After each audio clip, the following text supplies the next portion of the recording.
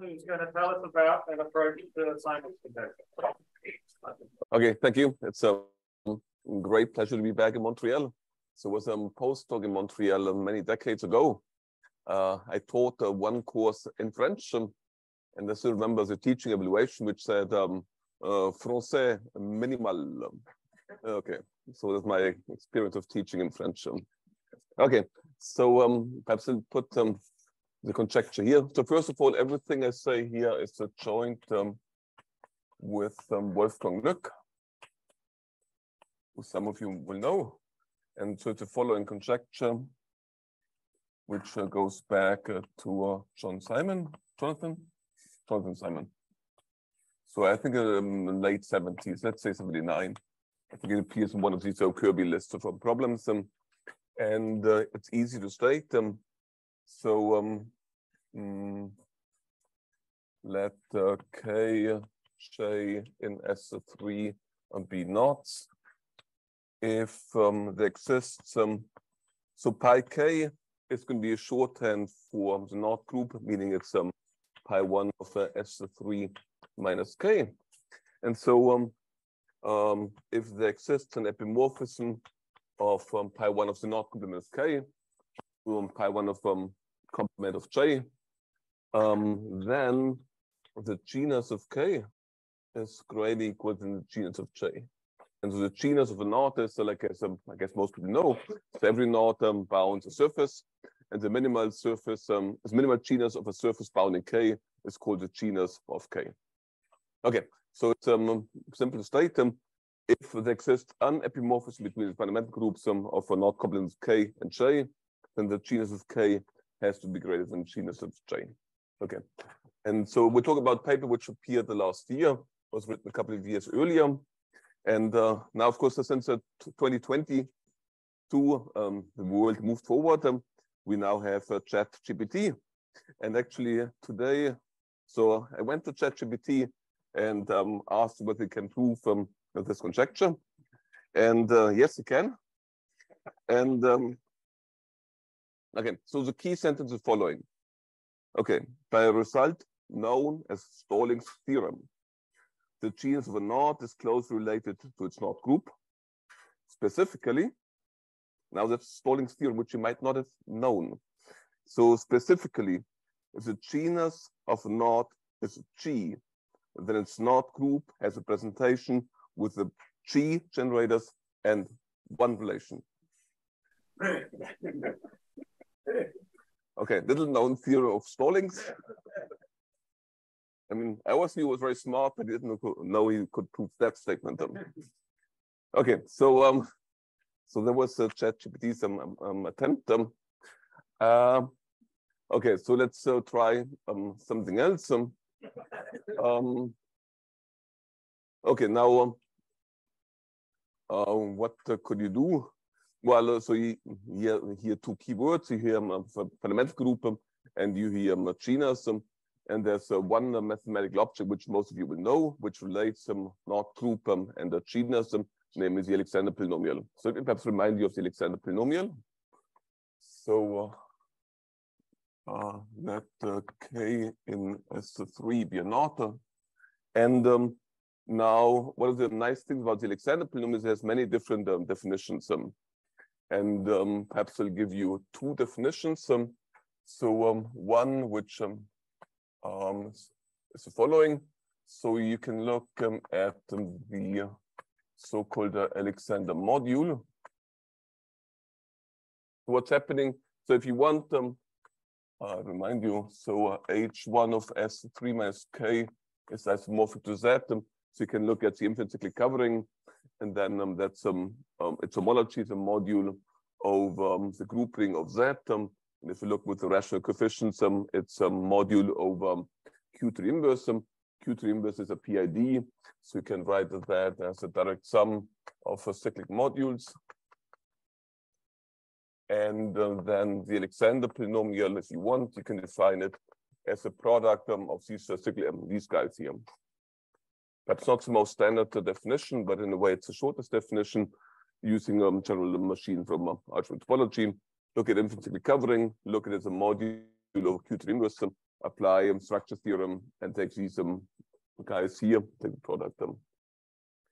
So um, a second definition, um, which perhaps um, is more um, common, is the following.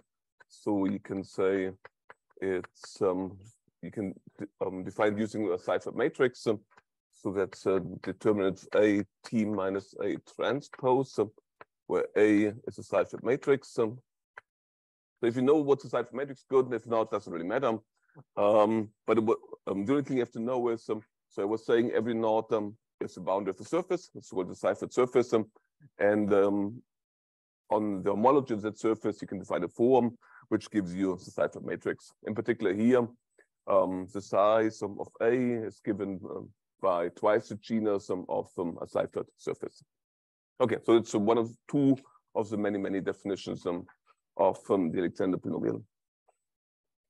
Okay, and um, now well, what can we say about the Alexander polynomial? So me remind you of a few facts. Um, so one is that the degree of the Alexander polynomial is less or equal than twice the genus of k. And that's um, with what I wrote down, not very hard to see, because um, let's say, let's take a second definition here. I was saying uh, here um, A comes from a Seifert surface. Um, let's say it has a genus G. Then um, A is a matrix of um, size 2G by 2G with integer entries. Um, and so if you have here a 2G by 2G matrix with integer entries, that's a 2G by 2G matrix with um, in entries, well, basically linear in T. And then it's basically an elementary linear algebra to see that the degree of that polynomial is at most 2G. So it follows easily from that um, definition. Okay, so easy. Mm, another way, perhaps, um, of um, formulating the degree of the Alexander polynomial is um, as follows. If we um, is to just say, well, let's if we look at the first definition here. So here H1 of S3 minus K Q T inverse. Um, and um, now that's a perfectly fine rational um, um, vector space. Um, you can just take um, its um, rational homology and its um, uh, dimension. That's really just um, um, just follows immediately from here. The degree of the polynomial of the PI is exactly the same as rational dimension of um, that quotient. Um, so nothing fancy. Okay.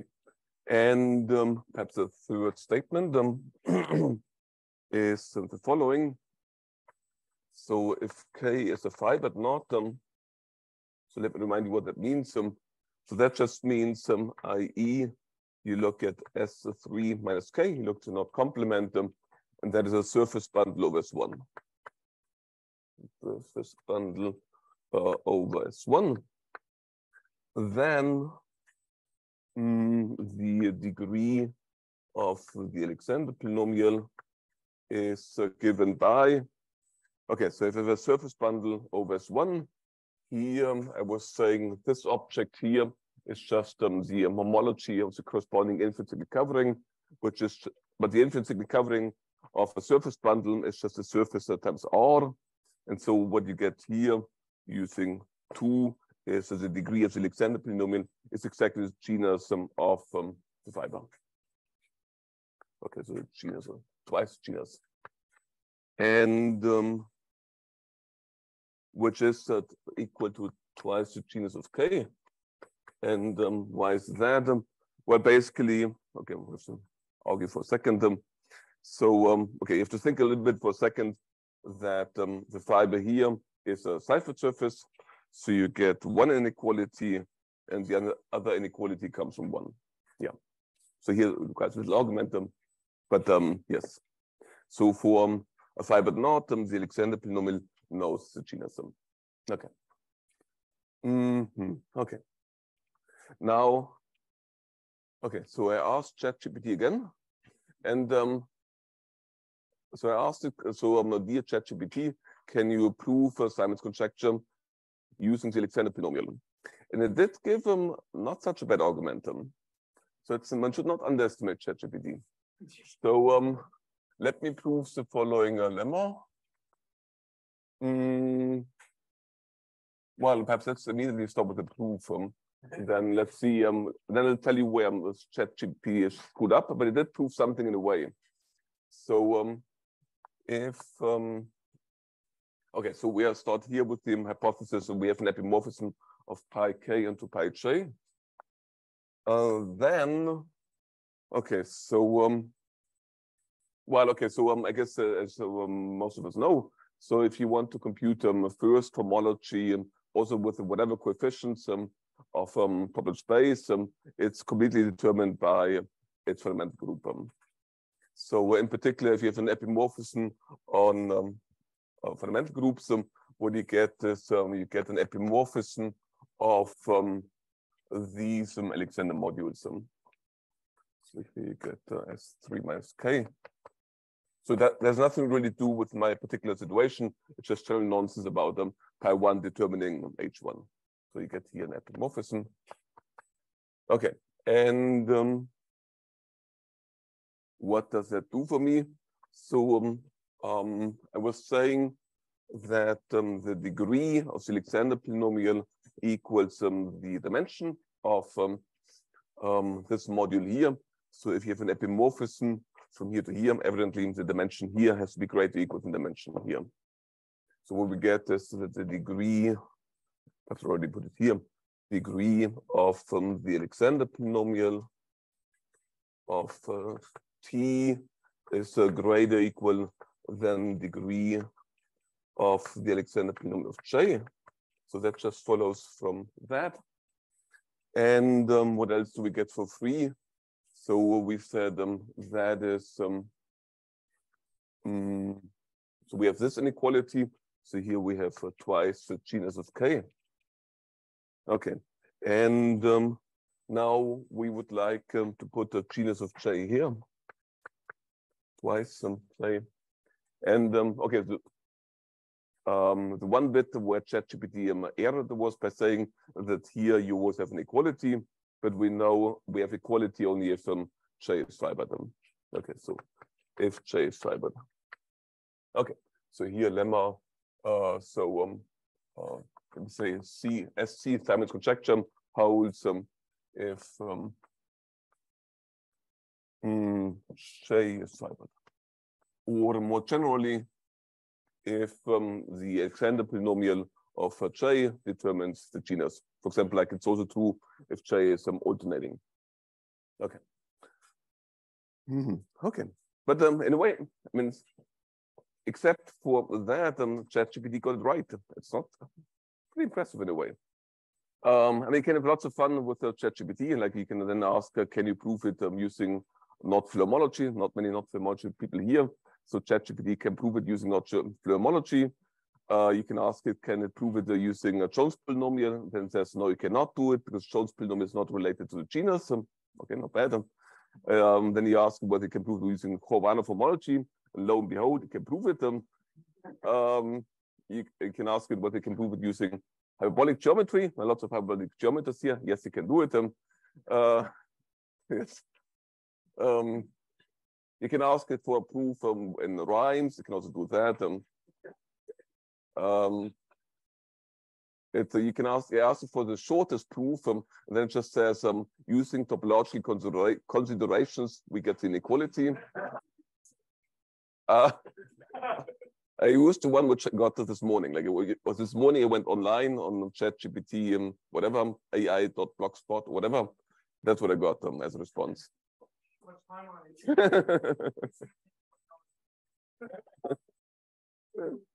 would be worth doing this. And anyway, um, okay, so um, I mean, in a way, um, this um, proof, this um, approach here is um, very appealing. And um, the only reason why it fails is because of the Alexander polynomial does not always detect the genus. Um. Okay, now um, people have been um, around them know that I like to talk about generalizations of the um, Alexander polynomial. And uh, for example, there's something called the twisted Alexander polynomial. Now I did a very bad job with my, um, can we flip this? No. Um, bad job with my head. Um, I put it here. Uh, horrible job. Okay, I apologize. Okay, so um, definition. So um, let um, alpha from pi k to a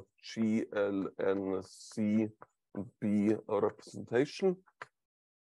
Then mm, we can consider h1 of s3 minus k. And um, now you can look at um, twisted homology with um, like Cn coefficients um, because pi one of um, S3 minus K acts on Cn, so you get twisted homology. And you still have your um, C T to the inverse um, coming from the abelianization. So you get uh, something called a um, twisted Alexander module.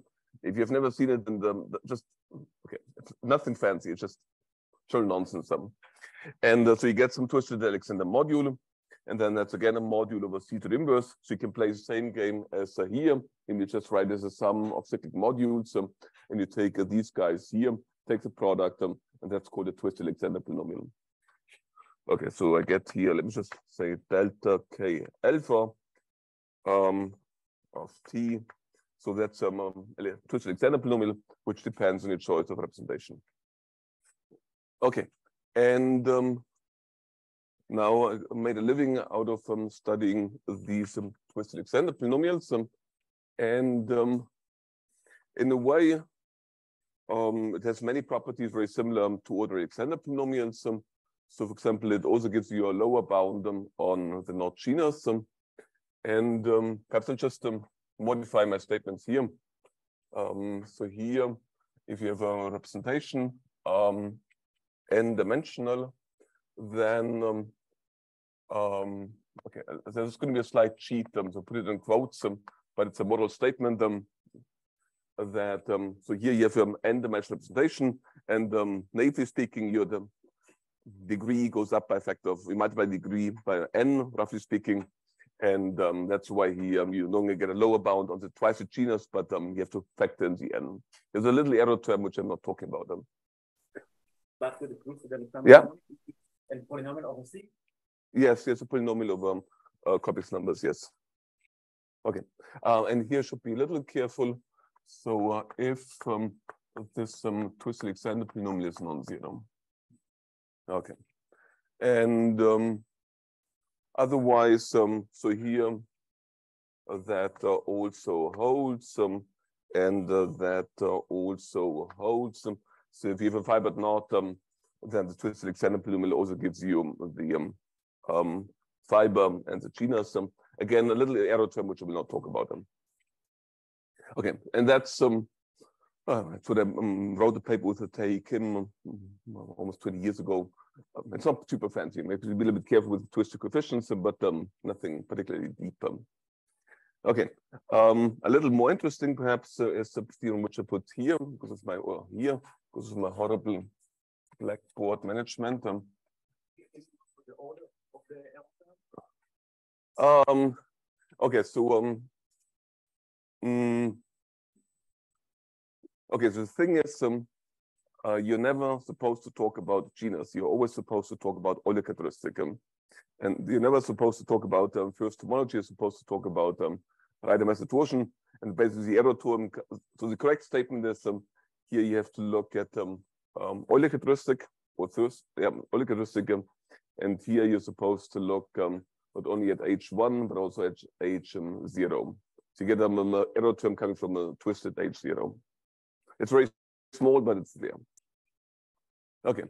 Um, now, so there's a following theorem which um, goes back to proof with uh, Stefano Vidussi, 2012 perhaps. Um, so given any k, there exists um, a representation alpha such that um, here equality holds um, such a degree of the twisted Alexander polynomial um, equals modulo of the error term by n times the genus of k.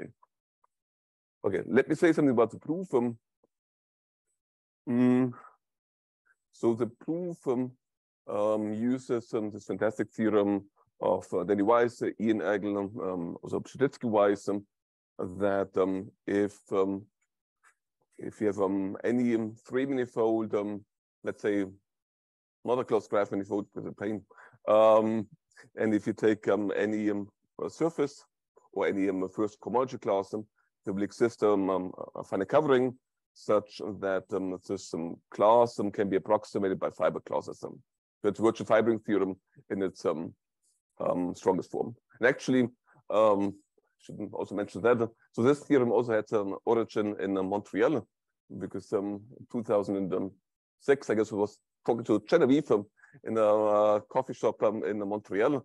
And I said uh, it, would, be really cool um, if somebody could prove um, that um, if you have um, taken any homology classes three manifold, um, there exists a finite covering such that it can be approximated by a finite coverings by fi by fiber classes. Um, and then uh, Genevieve pointed out to me that's exactly what um, Ian had. Um, that um, if you if you reverse them, then um, you can take any um, homology class and find a finite covering that you can approximate it by um, a fiber um, class system.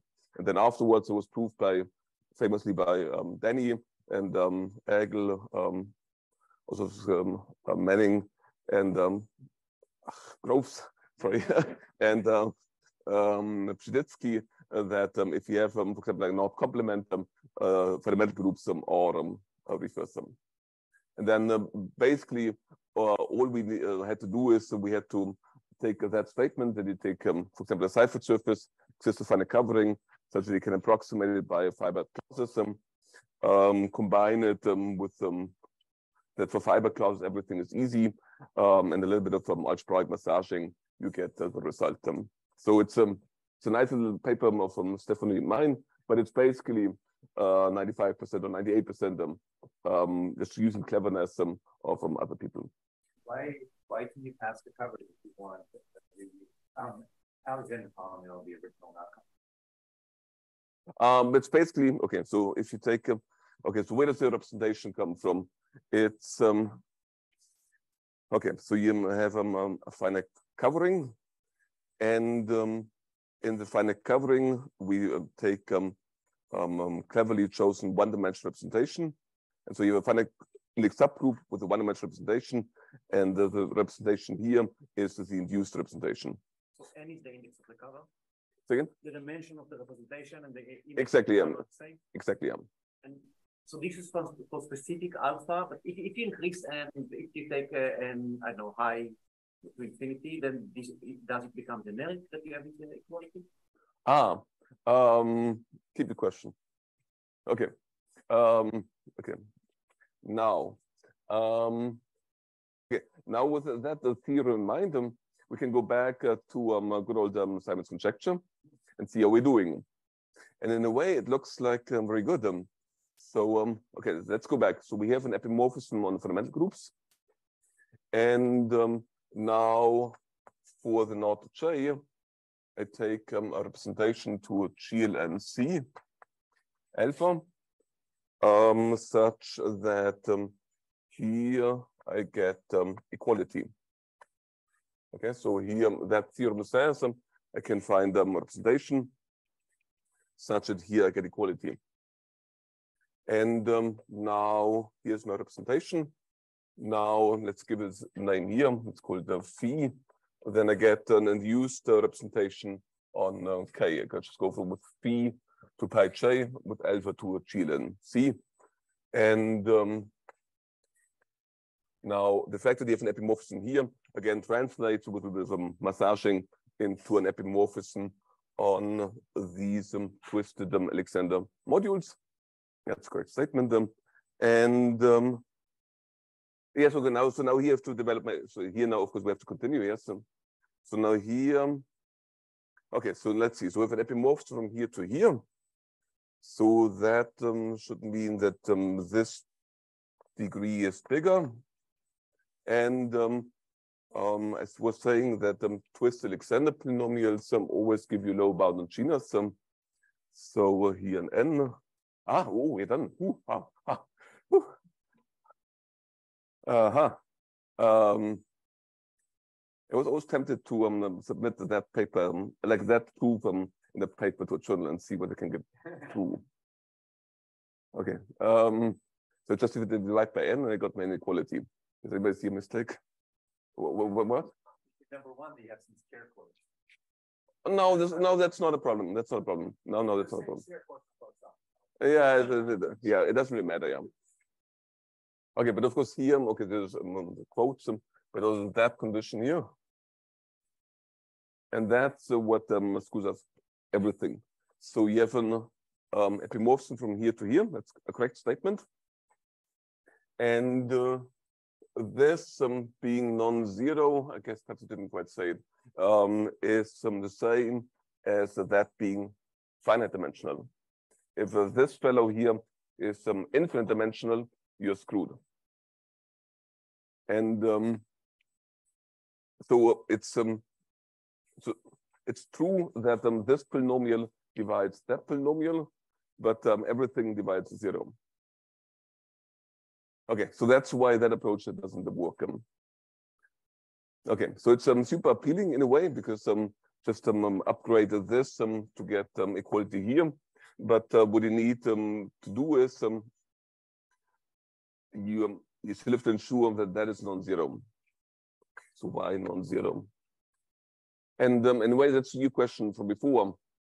Um, like um, if you take um, a knot um, this knot here, and you take a representation which comes from the right-hand side, um, mm, in a way, you have to be seriously unlucky for this to be um, zero, a non-zero, zero. so um, uh, generically, if you look at twisted Alexander polynomials, they should be um, non-zero. And um, but there's no reason how you can prove it right now. And if somebody has an idea um, to make this approach work, um, talk to me but um, it seems to be a serious problem. Anyway, so we need um, um, a different idea, or at least um, we have to make a, like um, we have to modify this idea. It's not a horrible idea, but we have to somehow try come up with an idea to make it work, um, at least in some setting. And um, what I want to talk about is um, so here before for ordinary Alexander polynomials, um, I was already using a little bit, namely I was using uh, that uh, ordinary Alexander polynomials are always non-zero. Okay, everybody knows that. Um, but perhaps worth thinking about. Um, why are ordinary Alexander polynomials of not non-zero? What's like what, what's a good reason why they're non-zero? And uh, there are many proofs, but I want to give you one proof, um, which um, perhaps is uh, one of the most conceptual proofs. Um, and um, perhaps now I can just erase everything here. If you got confused about twist examples, polynomials, it will not appear again. So you can just um, uh, enter the conversation again. Okay, so let's try to prove um, um, the following lemma. So um, the ordinary Alexander polynomial is um, non-zero. Okay. Um, I mean, usually one would go through the definition through with some Seifert matrix. Let me give you a different proof. So a proof um, Okay, so um, I look at um, S3 minus K, and I look at the map from S1 to S3 minus K, which just corresponds to the meridian. So uh, just think of um, a meridian as one sitting at S3 minus K. And um, note, um, so uh, if you look at uh, relative homology, that is actually zero. It's basically because the meridian generates H1. So here, uh, if you look at relative homology, it's um, zero. And now um, I want to use the following little claim. So um, let um, A be a matrix um, over the integers, um, no, sorry, over, apologies, over Z to the inverse such that um, a t equals 1 is invertible, then um, the um, matrix has the property that multiplication by one by a is some monomorphism. Okay, let me first repeat the claim, and I'll tell you what what it has to do with our story. So it's completely, it's pure algebra, nothing fancy.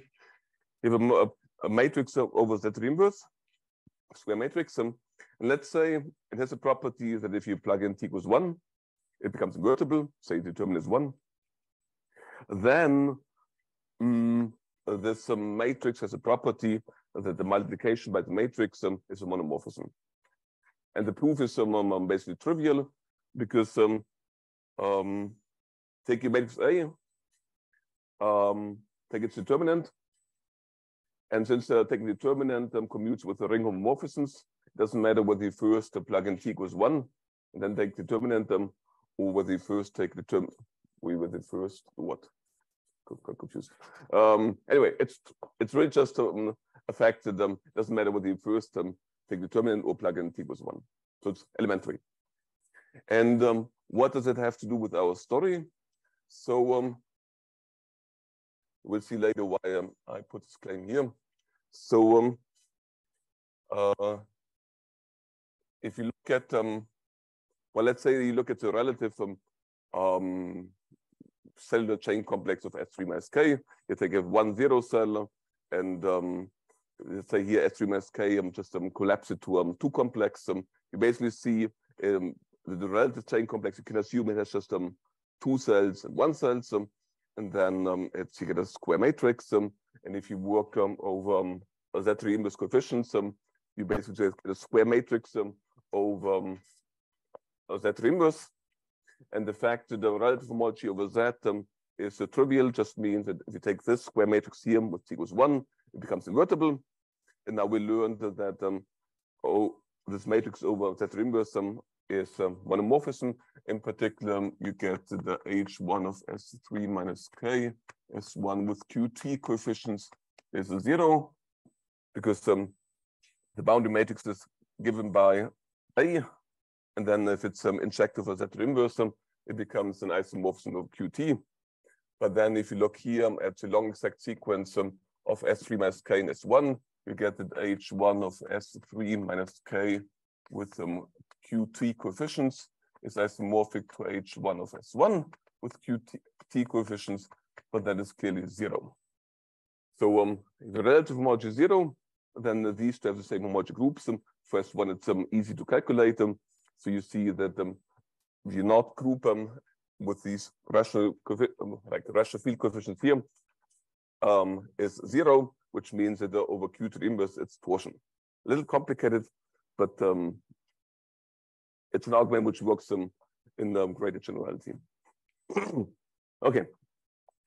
Um, you learn that in greater generality, but not only is the polynomial not zero, but stays non-zero whether two equals one. Mm. Say again.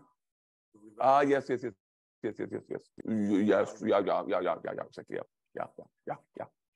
Um, if you got confused, um, um, I'll tell them um, the young kids um, um, a good trick. Um, so um, if there's a conjecture which you cannot solve, um, you do the following. You first, you generalize it, and then you prove a different special case which potentially is disjoint from your original conjecture. Okay, good trick. Um, so um, um, whenever you hear, hear, a conjecture about um, the um, obvious generalization is um, to go from a knot and the genus um, to a general three manifolds um, and um, norm. If you don't know what's the norm, it's just basically uh, measuring minimal um, genus, say, of surfaces representing second homology classes. Um. Okay, so um, let's um, try to formulate um, um, conjecture. So um, let um, M and the three manifolds um, and um, let's say we have an epimorphism from pi 1m to pi 1n epimorphism. That um okay. I put something here afterwards. Um, so um, the, then for any phi in h upper 1 and z, um, we have um, okay, so here x um, n phi so X is my notation for Thurston norm. So X and phi just means um, so H upper one is represented by by a point that corresponds to surface to a class in H2, the boundary, and it takes um, minimal genus of that um, surface um, slide sheet. But that's just um, um, you just look at the minimal genus of surfaces um, representing that homology class in N. And now you can take uh, this class here. Oh, two feet is very bad.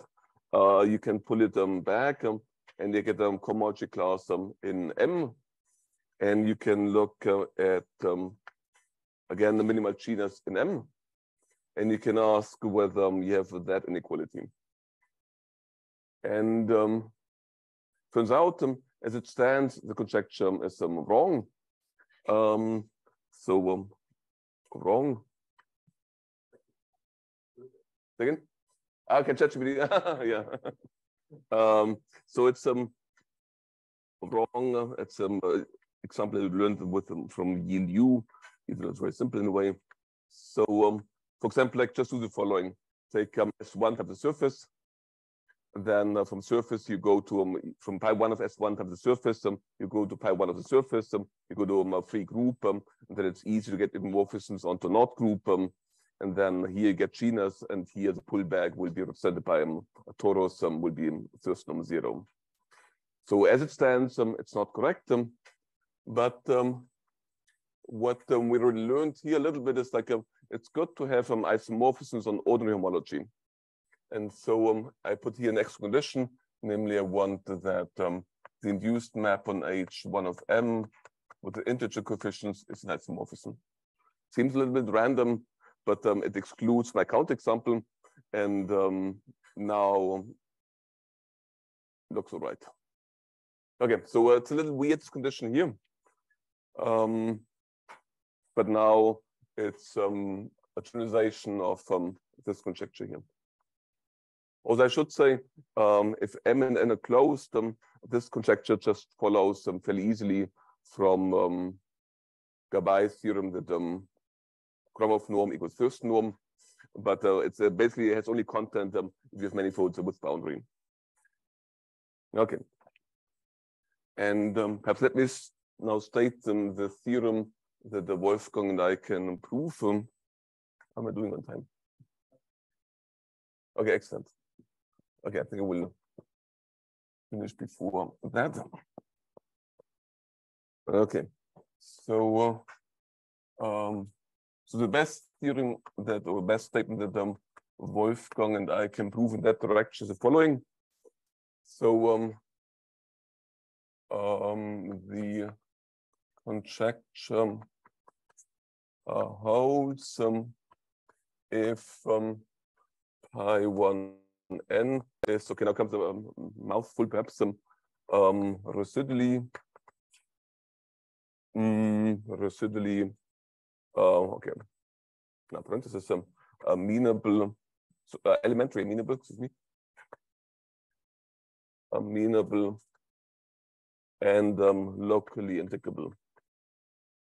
Okay, so um, before I explain the adjectives, um, perhaps let me just say a corollary, which is easy to state them. So conjecture holds um, if um, n is um, fibered. Okay, let's um, think whether um, the corollary here is actually meaningless or not. Um, so um, the corollary says um, so if you have two three manifolds, if n is a fibered, then for any homology class here, you get this inequality. And having this inequality is basically trivial if you start out here with a fibered class. It's the same argument from before. But um, if n is fibered, then we'll have fiber classes and we'll have lots of non-fiber classes. And for the non-fiber classes, um, um, it seems to be a, a non-trivial statement. Um. So it's a little subtle, but um, it's basically, um, so it has content. Relief. Okay. Now, okay, so I guess now I have to tell you what I mean by elementary amenable and locally indicable and why they arise. Um, um, elementary amenable, well, it's basically a group which is built out of um, finite groups um, and um, solvable groups, say. Um, let's not say more about it. For example, like um, if you're, you're finding a subgroup which is um, solvable, you're elementary amenable. Um, locally indicable is um, uh, the following. Ah, yes. Um, also, perhaps I should again say what I mean by parentheses here. So, um, if I have a property of a group P, a group G is called residually P. If uh, for every non-trivial element there exists an um, homomorphism to a group which has this property P, such as my element gets sent to something non-trivial. For example, like many of you will have heard about residually finite. So um, every non-trivial element um, uh, appears in um, uh, finite quotient.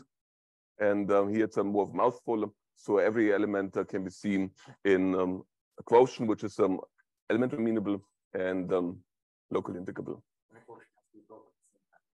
Yes, exactly. So here, yeah. Okay, so what's locally indicable? Definition. So G is locally indicable if um, any finitely generated subgroup um, H um, of G, non-trivial, admits an epimorphism onto Z. Um. Sounds a bit weird, um, but for example, let's say um, um, free abelian group um, is locally indicable. Free group is locally indicable. And um, um, nice theorem in three-manifold topology, which goes back to um, Howie, different Howie, um, older Howie, um, that um, if you have a three-manifold um, with a B1 greater than zero, it's uh, locally indicable. Anyway, why do we care about It's because I claim here. So the statement here, in a way, you can ask in general, like you have, um, let's say you have a group G. Again? Oh, okay, sorry. Let's do it in better. So let's say you have a group G. You have um, a matrix um, over um, the group ring. And um, let's say uh, you um, just um, do the um, um, augmentation, whatever. The map which sends every element in G to a trivial element. The here G equals one. So you have a matrix over group ring. And if you just go to the integers, um, for whatever reason you know it's um, invertible.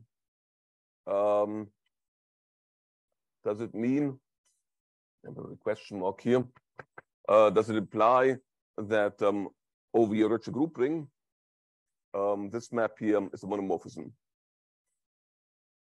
And um, it's um, a theorem, I guess, again, due to um, Howie, Schneebeli, who I never met, um, and uh, Gersten, that um, this statement holds um, if uh, G is locally indicable.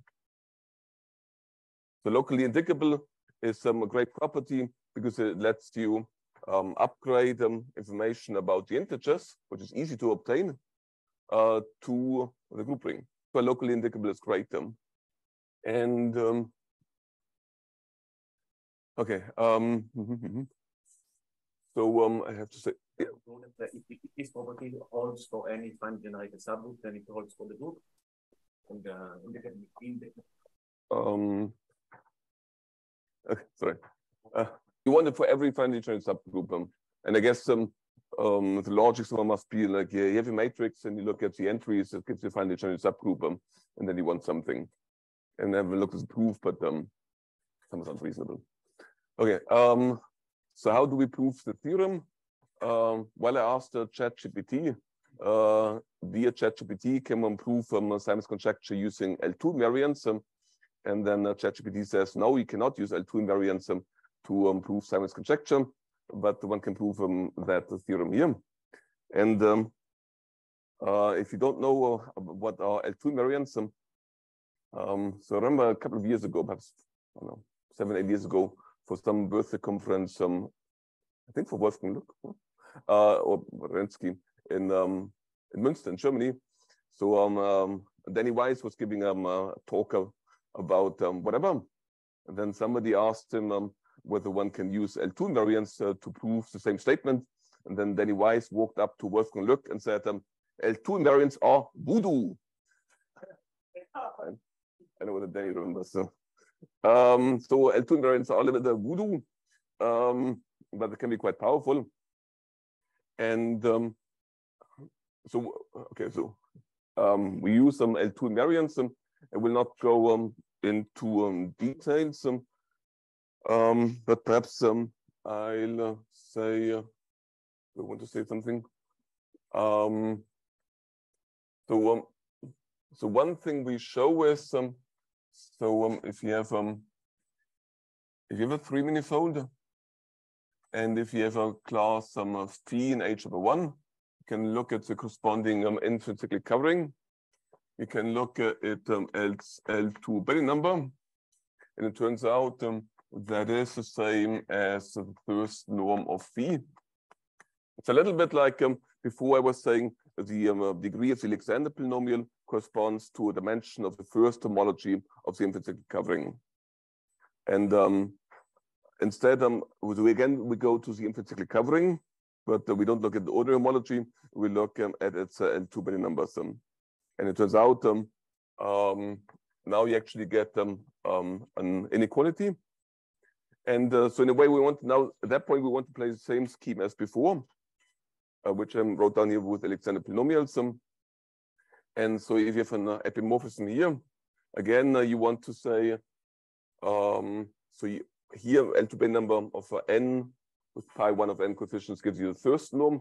Now you have to control L2 Betti numbers of the infinitely cover, covering of m, but with coefficients given by pi 1 of n. And at that point, um, um, you need um, uh, this condition here, plus the claim to uh, control the uh, L2 numbers um, of m. And let me perhaps just um, um, finish um, with a conjecture. And okay, so here the conjecture is the following: that if um, b1 of n is greater than zero, then so if you give me a conjecture, um, if you have a three manifold, b1 is greater than zero, then um, it has it's residually that. Um, and I don't know whether it believes conjecture or not, um, but it's also um, something I learned from Cameron Gordon. So he at some point said um, he always states things as conjectures, um, not as um, questions, because then for a student, it's much better to say he disproved the conjecture of than to say he disproved the question of. So um, if you have a solution to that conjecture, um, please uh, talk to me. Okay, thank you. Um, still, does uh, like being RFRS imply this? Um, yes, I guess RFRS is a good. Um, so it's always it's just like um up to find covers. It's kind of annoying. Like the three manifolds virtually there's this property. So um, if you're RFRS and you get all these nice sober quotients, um, um, and then they um, have their property. So um, uh, virtually it's true. Um, three groups um, with p1 greater than zero are locally indicable, but it's this funny combination of um, you want to have you want to control too many things at once, um, and we don't. I don't know how to do it. Um, which is annoying. Yes. I'm trying to derive the corollary from the theorem. What do you do with a group element that's in the five percent? It's not in the five percent. You just project this in there's a group in front. Well, that's why we need this condition here. Yeah. How do you? Oh, oh, oh, I see. Oh, oh, it's just um. No, it's uh, so if you have a, a fiber, it's not hard um to see that that, that condition holds them um, because um you just take um so if you're fibered, um, you're semi product of Z with um, a surface group or a free group. Um, then for the free group um, or surface group, you just take a derived series. Um, these are nice torsion-free um, solvable groups. Um, and then um, you get um, get these all these, uh, and then you just take them Z semi product um, um, free group um, modulo it's a nth derived group, um, and then you get very nice um, um, torsion free um, solvable subgroups. Um, that's why it works for um. Um. Yeah.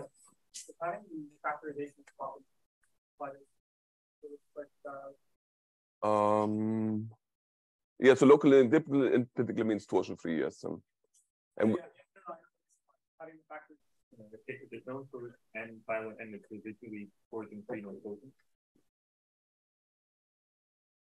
Um, not sure that's a complete list, but for example, like uh, knot groups um, are um, never, um, except for the trivial group, um, for except for the trivial knot, um, groups are not residually um, um, um, torsion free nilpotent or not because they know nilpotent quotients except the ones which factor through um, a z.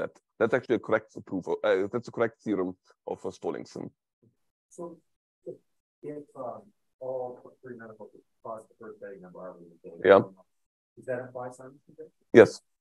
It basically, it, it- so it implies that conjecture which gives you that conjecture. So if you can show that this condition here holds for knot groups, um, you get Simon's conjecture, but I don't see what knot groups um, helps you in any sense. Um.